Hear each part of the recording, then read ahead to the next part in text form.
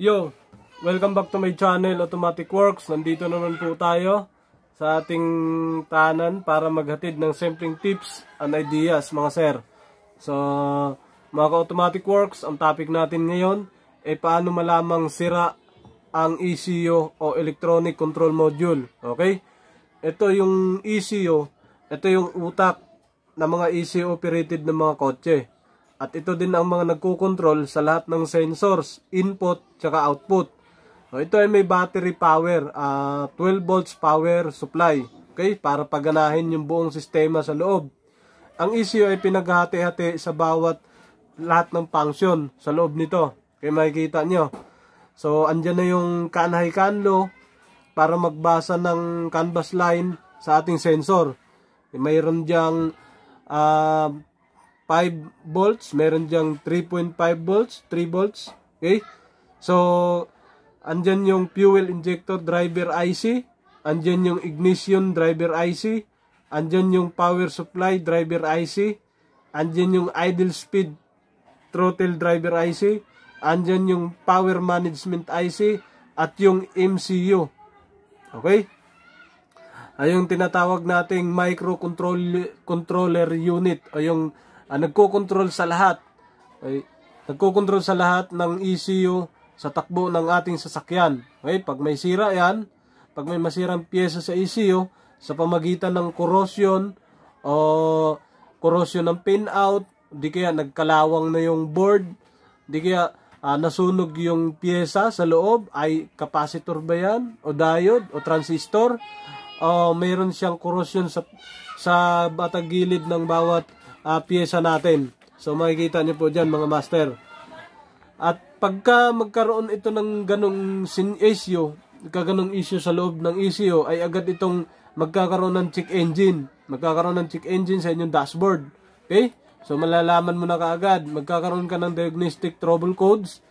Kailangan mo itong gagamitan ng scanner para malaman mo kung aling parte at aling sensor o anong pyesa ang nasira at mahirapan na ang sasakyan mong tumakbo. Pag nagkaroon ng ganong issue, ganong sinyalis mga sir, mahirapan na po yung sasakyan nyo um, na may, makaramdam na kayo ng hirap paandarin, uh, makaramdam na kayo ng uh, hirap na siya patakbuhin, minsan hindi na nagtutugma yung gas pedal niya pag inaapakan mo, hindi na siya nagre-revolution na talagang yung kamukha nung una na hindi pa siya nasira, mararamdaman mo yon Tsaka minsan may jerking na siya mararamdaman mo, di kaya umaandar siya tapos biglang mamamatay kung ilang minuto, ganun 2 minutes, 1 minutes, ganyan, 3 minutes, so kahit na nakbu ka, biglang namamatay, yan po yung mga sinyalis niyan, mga sir.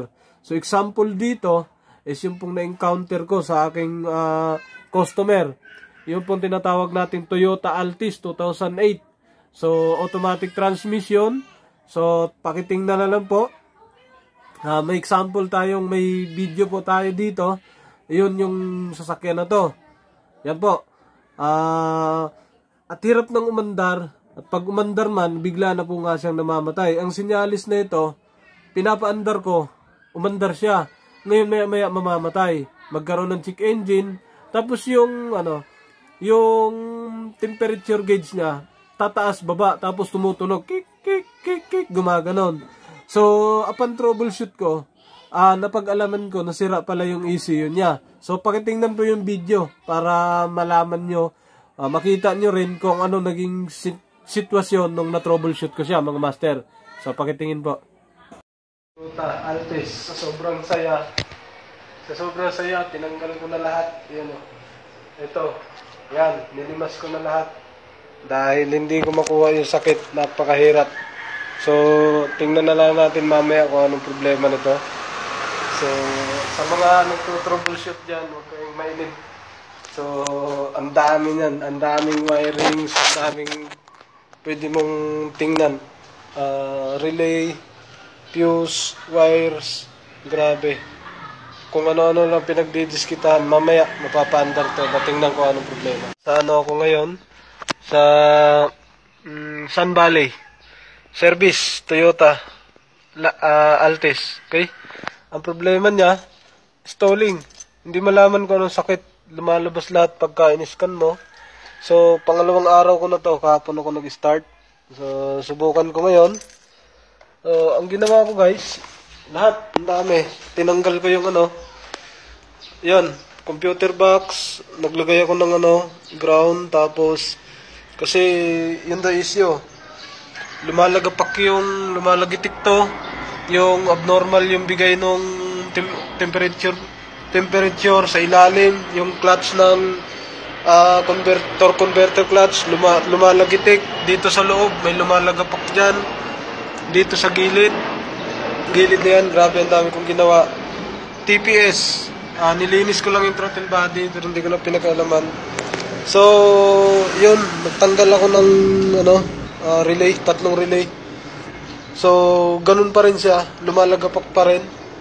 So, may huli akong nakita, itong relay na to.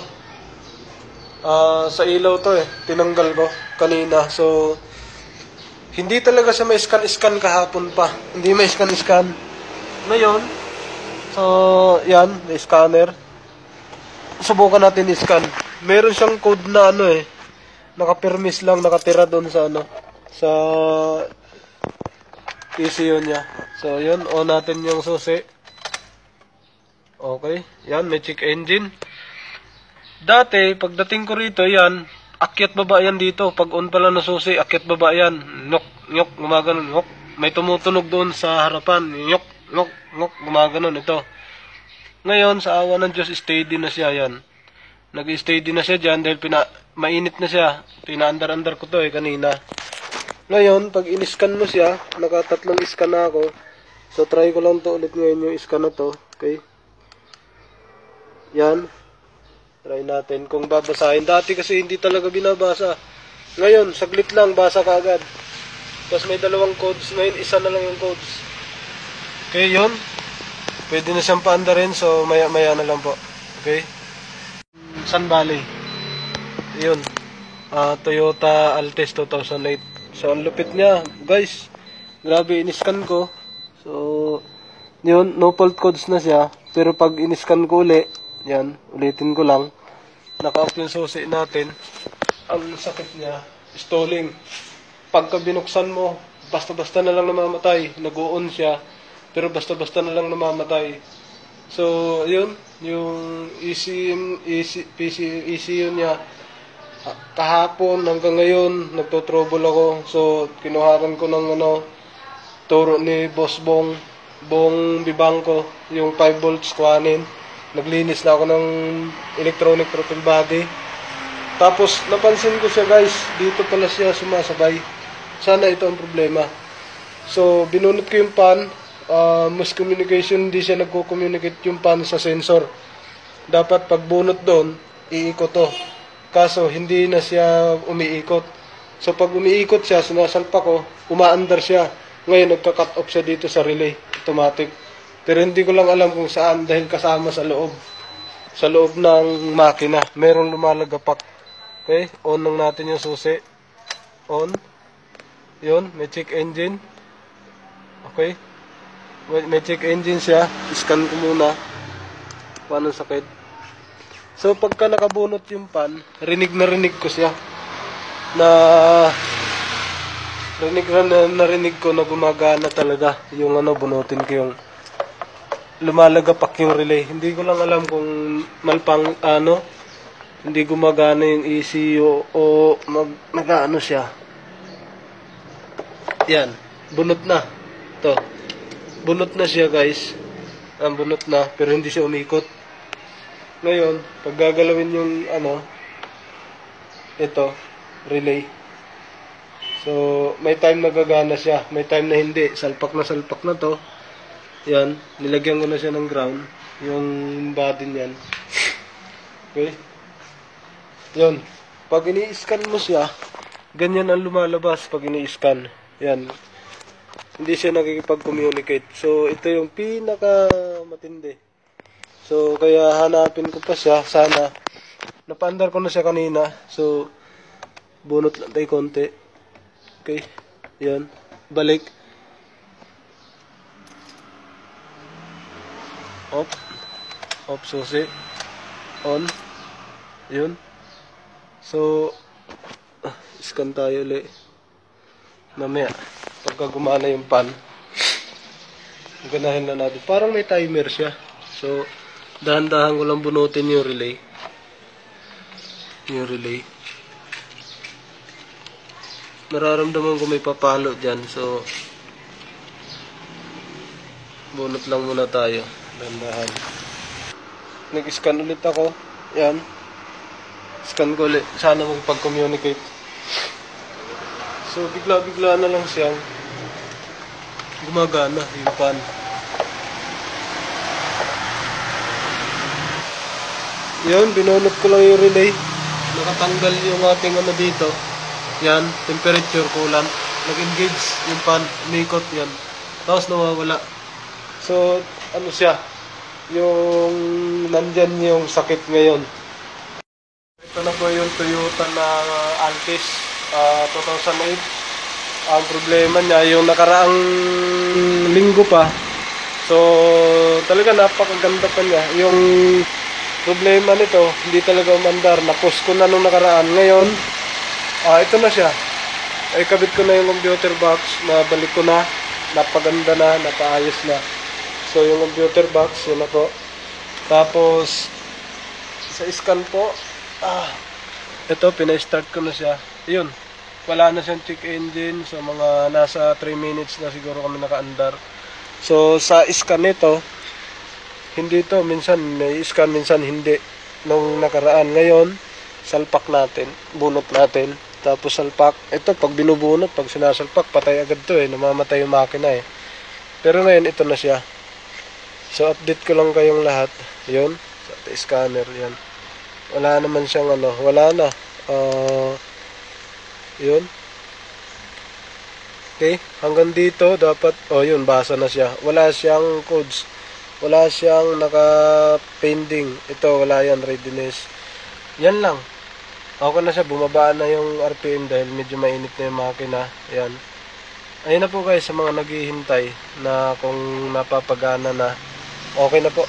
Uh, gumagana na. So, waiting na lang, uh, ano na lang kami uh, sa pagpapaandar. Kung hanggang anong oras matapos para sa warranty ng computer box. Okay, magandang salamat sa atin lahat. So, ingat tayong lahat sa mga gumagawa. So, happy viewing sa lahat. So, dagdag kaalaman lang po. Salamat sa kay, ano, uh, Sir Boss Rapi Bautista. Salamat Boss Rap sa tulungan natin tungkol dun sa PCM. Salamat po. Ayun, Uh, yun nga po yung video natin mga master. Bali sa ating Toyota na ginawa. Easy operated na po yon. So, yan po ang sample natin. So, ang sira po niyan, i-ECU. Okay? Nung iniscan ko po siya mga sir, ang lumabas po ay ito. So, pabago-bago po ang labas ng labas ng bigay ng ECU kung ano naging problema. Iba-iba yung bigay ng canvas kung anong problema niya. So, ang binibigay niya, minsan, merong limang codes, sampung codes, at tatlong codes, dalawang codes, isang codes, at yung nagpipermis na, na isang code na ito. Yan, yan po.